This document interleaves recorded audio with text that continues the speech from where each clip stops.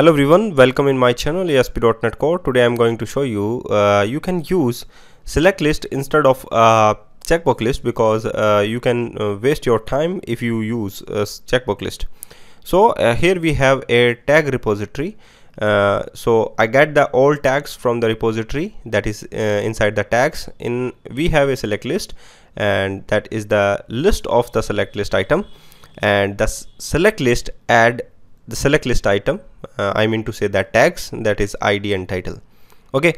And after that uh, we can initiate that tags uh, or you can say the select list items with the tags uh, in the post uh, post create view model.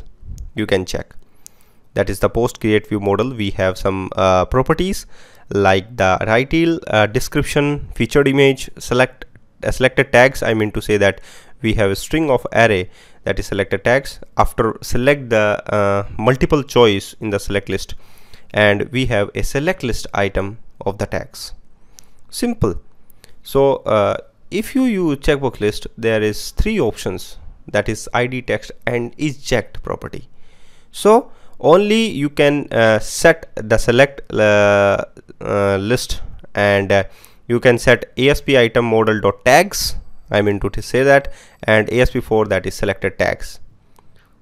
So there is code selected tags. Okay.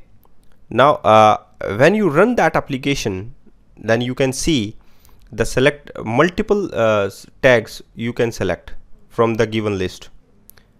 So uh, it's a simple thing you can do in your uh, application uh, instead of uh, checkbox list. If you are using checkbox list then there is lots of code you, you can write in your uh, application. If you have uh, only one options uh, in the checkbox list then you can do. Uh, if your application is based on the multiple choice questions then you can use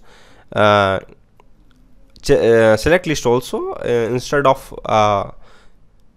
check checkboxes so there is the simple thing you can do. So also you can use IFormFile in the post view model post create view model instead of a separate IFormFile.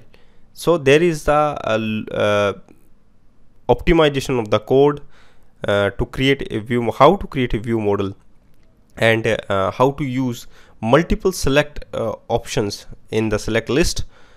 Uh, okay. So Thank you guys for watching this video and keep watching all other videos which is related to ASP.NET Core and learn many more thing about uh, ASP.NET Core because my channel is directly related to ASP.NET Core.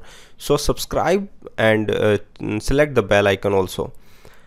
And uh, if you get notifications, so please please uh, press the net, uh, notifications icon. Thank you very much for watching.